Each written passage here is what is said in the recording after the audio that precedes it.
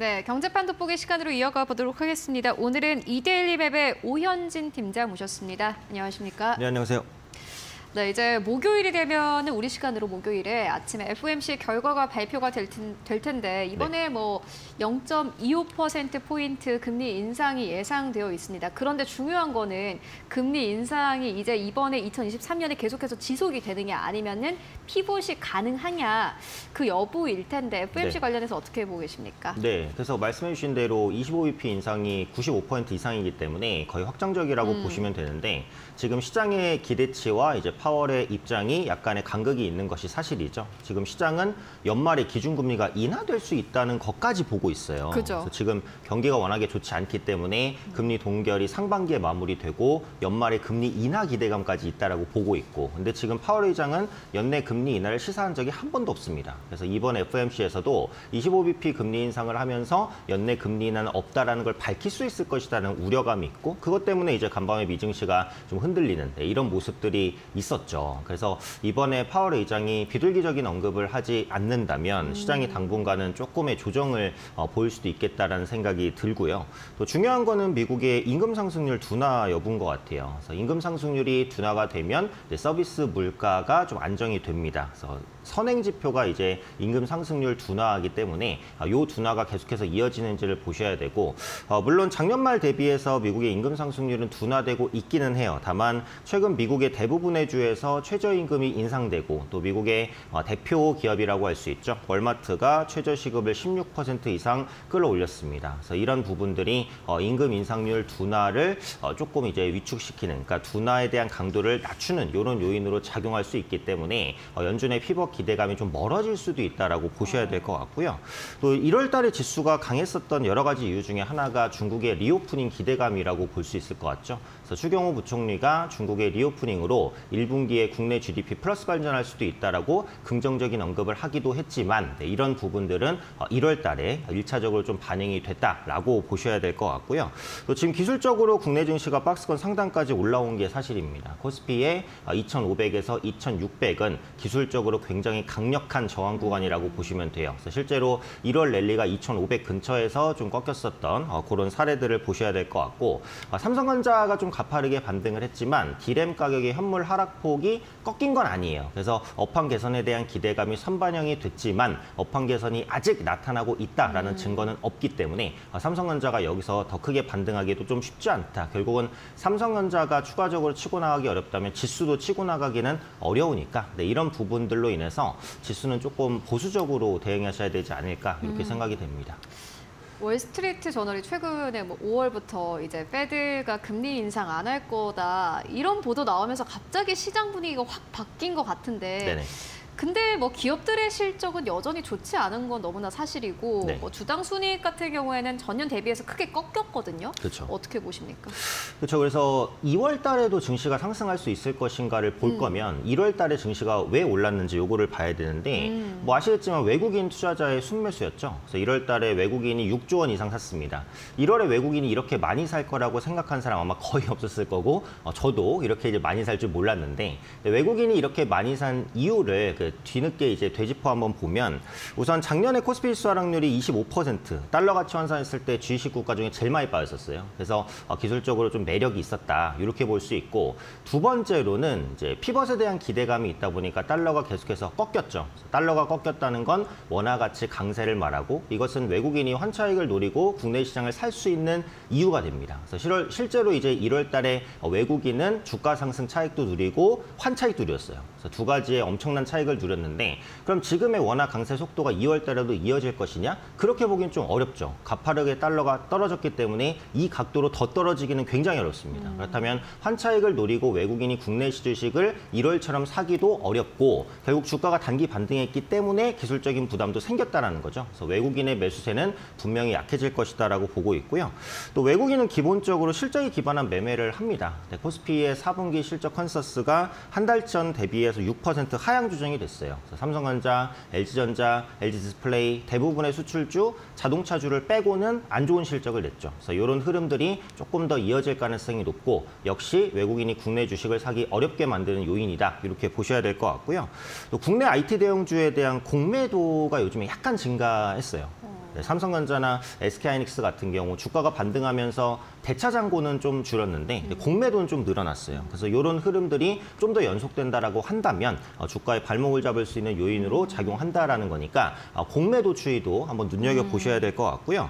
전체적으로 지수만 놓고 봐도 지금 코스피의 12개월 선행 PER이 12배입니다. 그러니까 10년 역사적 평균이 한 10.8배 정도 되니까 어, 수익 관점으로 봐도 지금이 싸다라고 말하기 조금 어렵고요. 지금 PBR로 봐도 1배 정도. 이게 이제 역사적 평균과 비슷한 수준이니까 역시 자산 가치로 봐도 싸다고 보기는 조금 어려워요. 그래서 이런 부분들이 어, 지수에 좀 발목을 잡을 것이다 이렇게 보고, 보고 있습니다. 어, 지수 대비해서 만약에 밸류가 살짝 올라온 상황이라면은 대형주는 지금 더더욱 아니다라는 생각이 드는데 네. 어떻게 보시나요? 그렇죠. 그래서 결국은 이제 개별 주- 1월보다는 당연히 투자하기가 어려운 환경이 2월 달에 펼쳐질 것이다라고 보고 있는데 대형주보다는 여전히 중소형주를 보시는 게 좀 날 것 같아요. 그래서 대형주는 결국 삼성전자가 좀 치고 가줘야 코스피도 분위기가 호전되고 어, 대형주도 우상향을 좀 보일 것 같은데 아, 삼성전자가 좀 주춤한 흐름을 보일 가능성이 높기 때문에 중소형주로 한번 옮겨가시면 좋을 것 같고 1월 달에 외국인이 산 게 대부분 대형주였습니다. 그래서 2월 달에는 이런 수급들이 중소형주로 조금 더 확산되는 모습이 나타나지 않을까라는 생각도 어, 대형주보다는 중소형주가 2월 달에 트레이딩하기에 좀 유리하다라고 판단하는 근거가 되고요.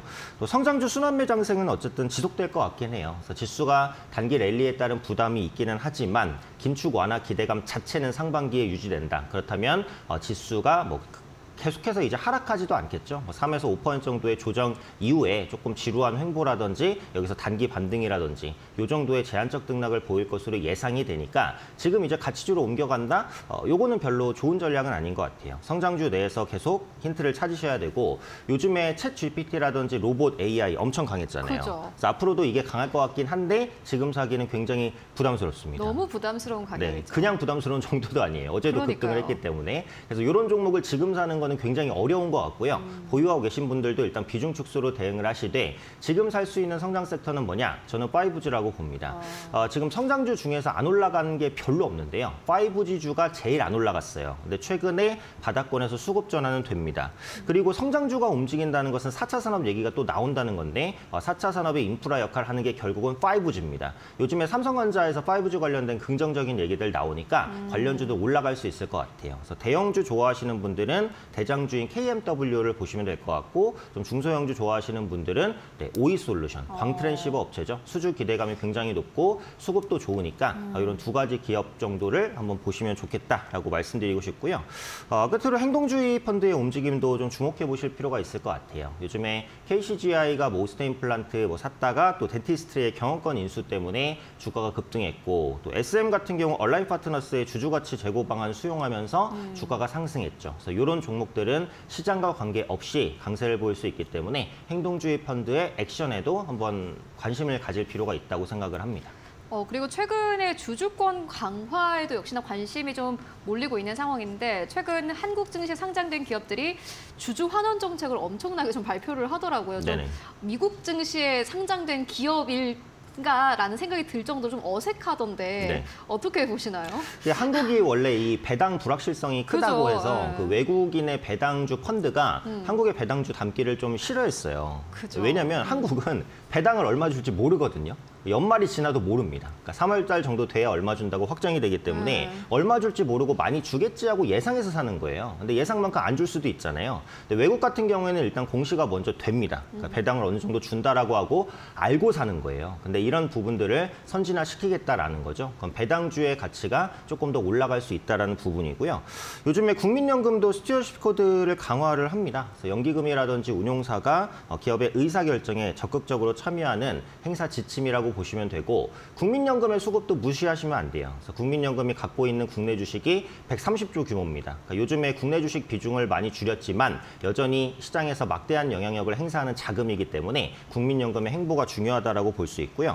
어, 국민연금이 요즘에 그 경영권에 좀 참여하려고 하는 이유가 수익률을 끌어올리기 위해서죠. 왜냐하면 요즘에 언론에서도 보게, 보셨겠지만 국민연금 뭐 고갈된다. 그죠. 90년대생부터는 이제 못 받는다고 막 그런 얘기 나오더라고요. 맞아요. 이러면 이제 불안하거든요. 아. 그러면 어, 국민연금 요율을 올려야 되는데 지금 9% 정도인 요율을 15%까지도 올릴 수 있다는 얘기가 나오고 있어요. 이것은 엄청난 발발을 불러옵니다. 그렇기 때문에 자체적으로 수익률을 끌어올릴 필요가 있는데 어, 가장 이제 빠르게 수익률을 끌어올리고 있- 끌어올릴 수 있는 방법이 보유하고 있는 기업의 경영에 그죠. 간접적으로 참여하는 거예요. 참여만으로 주가가 상승할 수 있으니까. 그래서 국민연금의 행보를 좀 주목해 보셔야 될 것 같고요.